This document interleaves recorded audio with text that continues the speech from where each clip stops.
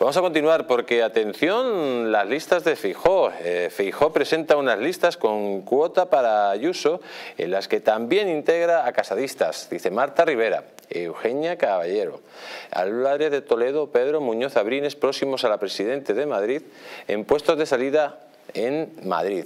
Media docena de afines a Pablo Casado. Dice Alberto Núñez Fijoz ha cerrado las listas del PP para el Congreso y el Senado con una importante cuota de candidatos próximos a Isabel Díaz Ayuso. El líder nacional del partido, eso sí, ha dejado también sitio a diputados casadistas, impulsados por el expresidente popular y que mantendrán escaño en la próxima legislatura. Pierden poder los afines a María Dolores de Cospedal, que han sido descabezados de la carrera de San Jerónimo a la Plaza de la Marina.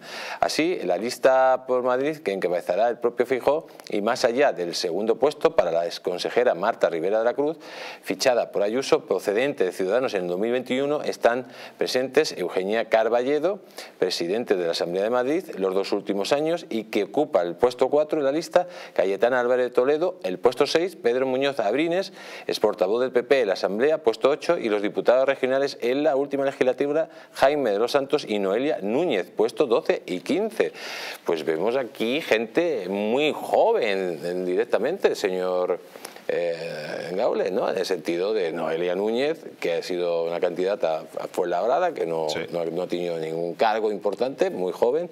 Vemos la sorpresa de Álvarez de Toledo, que es sorprendente que, siga en el Partido Popular, porque yo creo que choca de, frente con la actitud del señor Fejo, y luego que cojan a alguien de Ciudadanos para tener un puesto de tanta relevancia como es el número 2 de Madrid, y a Cuca Gamarra directamente la pasen a La Rioja.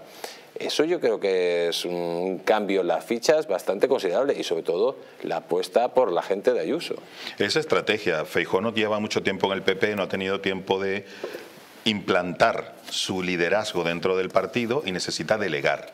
Entonces tiene que poner personas que representen a cada subgrupo dentro del PP para no tener lo que tiene Sánchez precisamente, que es una guerra interna brutal, sin hablar obviamente de la como dicen, la izquierda y la extrema izquierda, ¿no? Para usar el mismo lenguaje que usan ellos.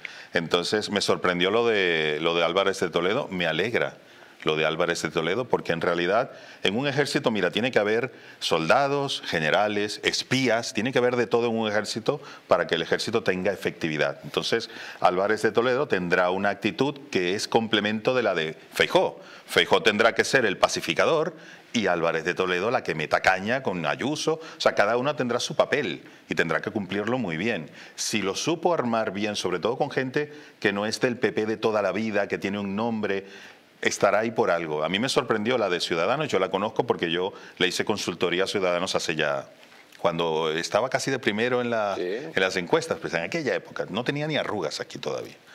Y me pareció una persona bastante sensata en ese momento pero me sorprende porque yo, la, yo lo entendería de, de puesto 5, 6, 7, pero de, número 2 debe tener una confianza. Ayuso tiene que haberle dicho que esta persona va a aportar mucho, pero muchísimo, no solamente traer gente de Ciudadanos, porque Ciudadanos ya iba a venir, tiene que, seguro tiene algo que Fejó necesita, porque tiene gente para escoger a mansalva. Por todos los lados.